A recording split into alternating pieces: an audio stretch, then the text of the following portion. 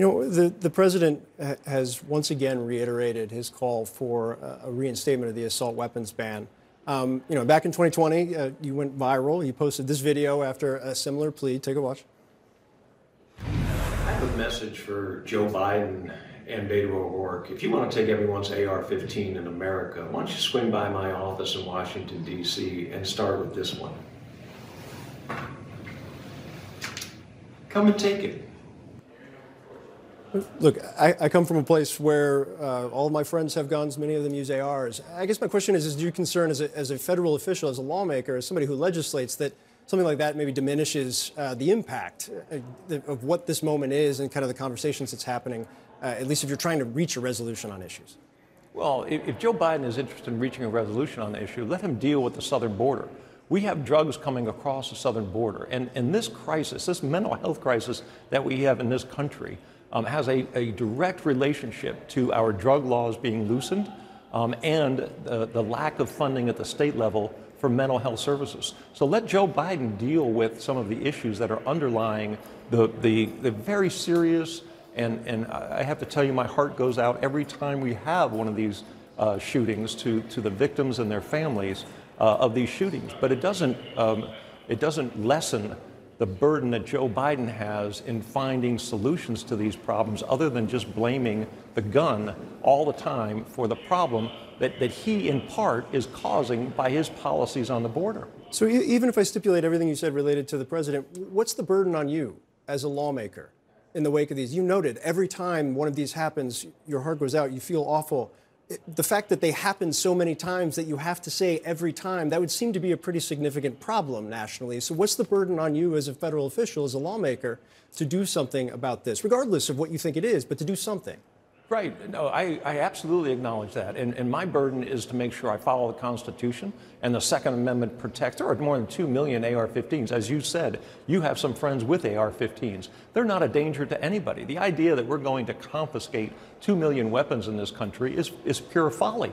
The idea that we're going to ban a particular kind of weapon as if some other weapon won't be used I, can remember 20 years ago, uh, the ban was on handguns. We've got to we've got to stop handguns from being used, and handguns kill far more people than a rifle like an AR-15. If you go to Chicago and you look at the murder rate in, in some very poor areas of Chicago, they're not using AR-15s; they're using handguns. So ultimately, we need to stop the violence by uh, making sure we take violent criminals off the streets and addressing the mental health issue that, that we face. That's my burden. This is Republican lawmaker Ken Buck getting called out for his own shameful behavior, effectively threatening Democrats with an AR 15 amid just the latest shooting in this country, where the shooter, of course, employed the use of that same weapon. And look, I've been doing these videos for a few years now. I've watched people with their smooth segues to ultimately get to their talking points.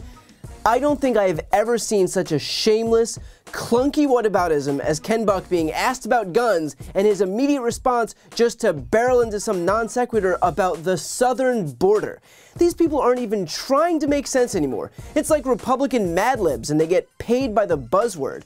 To be asked about gun violence in American schools and respond that this is the result of drugs coming in through the southern border is just so unbelievably tortured that George W. Bush would look at it and get nostalgic. Now, I don't know who needs to hear this, but no, sorry, drugs coming in through the southern border are not responsible for mass shootings in this country.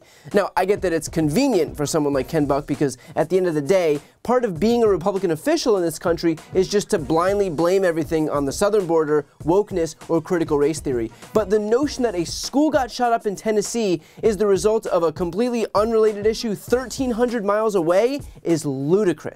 And the way that Ken Buck tries to thread this needle between drugs at the border and mass shootings is by saying this.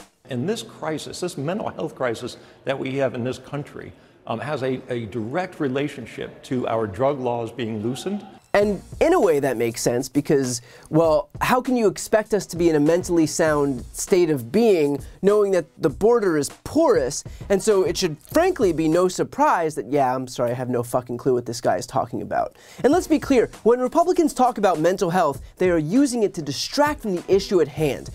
I want to make sure that I am not mincing words here. Republicans do not give a shit about mental health in this country. They're just pretending that they do because it's vague and nebulous enough that they can always point to it as the culprit, knowing full well that it'll never be solved. It's like the war on terror. Can you point to it as a justification to do whatever you want? Sure. Will you ever actually solve it? Not a chance. And that's great as far as they're concerned because they're not actually looking for solutions, they're looking for excuses and distractions.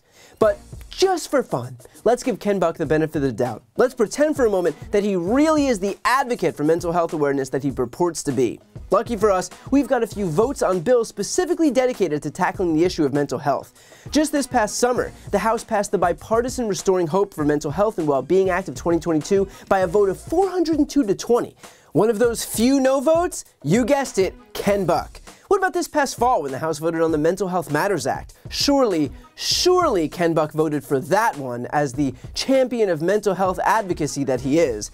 And look at that, another no vote. So when he pivots away from gun safety reforms by claiming that the real issue at hand is mental health, then why the fuck doesn't he vote for mental health? It's amazing too how this guy, with a straight face, can suggest that Joe Biden isn't interested in finding solutions to these problems. Just this month, Biden signed an executive order increasing the number of background checks conducted before firearm sales, increasing the effective use of red flag laws, strengthening efforts to hold the gun industry accountable, and accelerating law enforcement efforts to identify and apprehend shooters. Biden's literally done everything he could do without actual legislation, which is the job of Congress, where Ken Buck happens to serve. And in fact, Biden did sign the first gun safety reform legislation in three decades into law, the Bipartisan Safer Communities Act. Shall we go back to the roll call and see how Ken Buck voted on that? What do you know? He voted against it. So if Ken Buck wants to whine about someone not doing enough, he should try a mirror. But of course, aside from pinning all of the blame to legislate on Joe Biden, who I should note is not a legislator, Ken Buck views his role in all of this as some protector of the Second Amendment. And of course, he goes into the usual fear porn about gun confiscation, which no one is suggesting we do beyond the hysterics of the GOP's own strawman arguments. But here is one point that I'll make about the Second Amendment it is not unlimited. It does not mean that you can buy any weapon you want with no restrictions whatsoever. And don't take it from me, take it from Antonin Scalia, arguably one of, if not the most conservative justices on the court in our lifetimes. In his Heller opinion, he wrote, like most rights, the right secured by the Second Amendment is not unlimited. Nothing in our opinion should be taken to cast doubt on long-standing prohibitions on the possession of firearms by felons and the mentally ill, or laws forbidding the carrying of firearms in sensitive places such as schools and government buildings, or laws imposing conditions and qualifications on the commercial sale of arms. So when Republicans today claim that any regulation is an an infringement on your Second Amendment right, recognize just how extreme they've allowed themselves to become, all while mass shootings are surging in this country. And I'll finish with one last response to Ken Buck, who says this. So ultimately, we need to stop the violence by uh, making sure we take violent criminals off the streets. We just take the violent criminals off the streets. And so I guess the way we stop these shootings is just to jail the shooters before they shoot up the schools. Perfect. Let's just go ahead and grab our time machines and figure out who the shooters are going to be ahead of time, and then boom, we can all be safe. See? Who says we can't figure out solutions if we just put our heads together? And look, I could have kept going with a slew of other responses to quite literally every syllable that left Ken Buck's lips, but I think you get the idea. These are unserious people in an unserious party, and the fact that they obstinately refuse to act in the face of a relentless barrage of bloodshed when they have the ability to do something about it really is blood on their hands. If only those lives were worth as much to them as their gun lobby donations, we might actually be able to fix this. News. Before you go, a quick announcement. I've started a Spanish YouTube channel. Democrats desperately need to be able to appeal to Spanish speaking audiences, so this is me doing my part. To help that channel get going in the algorithm so that we can finally start spreading our progressive message and breaking the conservative stranglehold on Spanish speaking media, please subscribe and watch a few videos. The link to that channel, called Brian Tyler Cohen Espanol, is right here on this screen. And of course, to see more of my content in English, make sure to subscribe to this channel as well. The link is also right here on the screen. Thanks so much for watching.